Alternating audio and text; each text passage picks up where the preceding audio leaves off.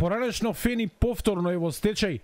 Ваква одлука донесе Кавадаречкиот суд денеска од како тоа го побараат тројца доверители. Јавно предпријатие од Кавадарци, прилепска фирма која од Евроникел има за земање 10.000 евра и 670 вработени кои си бараат 4 неисплатени плати во вкупна висина од 2,1 милиони евра. Во стечајната маса не влегуваат машините и зградите, оти нив ги зема комерцијална банка активирајќи хипотека за невратен кредит.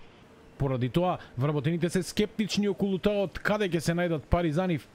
Сепак со стечајот тие остваруваат право да се пријават во агенцијата за вработување и да добијат надоместоци кои законски им следуваат.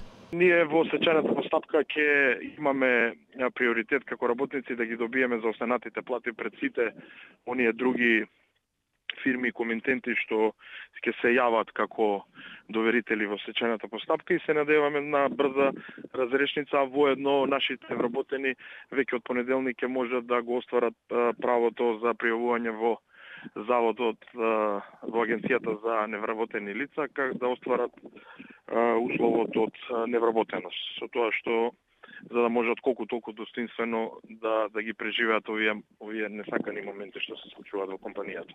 Но не се занемарливи побарувањата кои ги има Евроникел во висина од 92 милиони евра, кога од тоа ќе се одземат долговите од 78 милиони евра во кои се и побарувањата на доверителите, излегува дека салдото на фабриката е во позитива од 14 милиони евра. Сега на потек е стечајниот управник Ацо Петров, кој судот го назначи на оваа позиција да ги наплати овие пари. Во меѓувреме, Комерцијална банка ги продолжува преговорите со потенцијалните инвеститори. Вработените тука го гледаат спасот, па затоа 100 од нив секојдневно доаѓаат во фабриката и ја одржуваат печката во работа. Преговорите за презимање од од страна на на на другиот конзорциум се во напредна фаза и се надеваме дека во нескор можен рок ќе се заврши таа купопродажба и дека ќе може да да продолжат нашите работ, работници да да работат.